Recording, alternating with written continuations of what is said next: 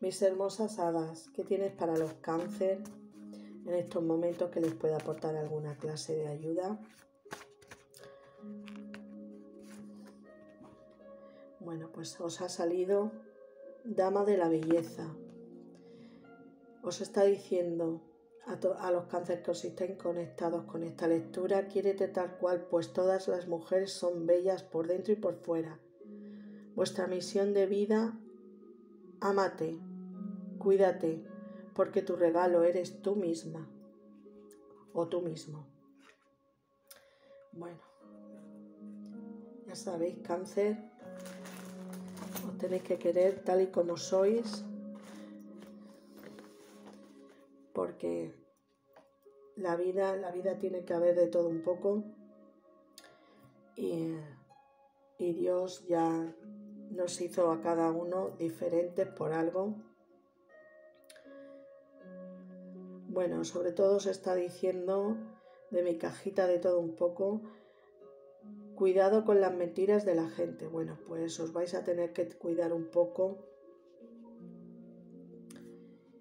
sobre todo de las mentiras de la gente de, de vuestro entorno, sobre todo en el trabajo.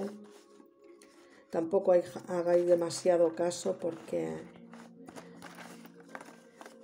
las personas que hacen eso siempre caen en sus propias trampas y, más tarde o más temprano pues ellos mismos se meten en, en sus propias historias y, y pagan ese daño que hacen. Bueno, se está diciendo a los cáncer no pierdas el tiempo ni con cosas o personas que ya no te aportan nada en la vida y dale importancia a lo que realmente la tiene en la vida. Bueno, pues ya sabéis, van relacionadas las tres cartas. Tampoco tenéis que darle importancia en la vida a lo que no la tiene. Y, y sí a las cosas que verdaderamente valen la pena. Hay que prestarles más atención. Y, y a todas esas personas que solo saben hablar de chismes, chismosas y, eh, como digo yo, personas que son dañinas para el ser humano, pues simplemente pues dejarlas que se ahoguen en su propio veneno. Bueno, gracias mis hermosas hadas por este hermoso mensaje.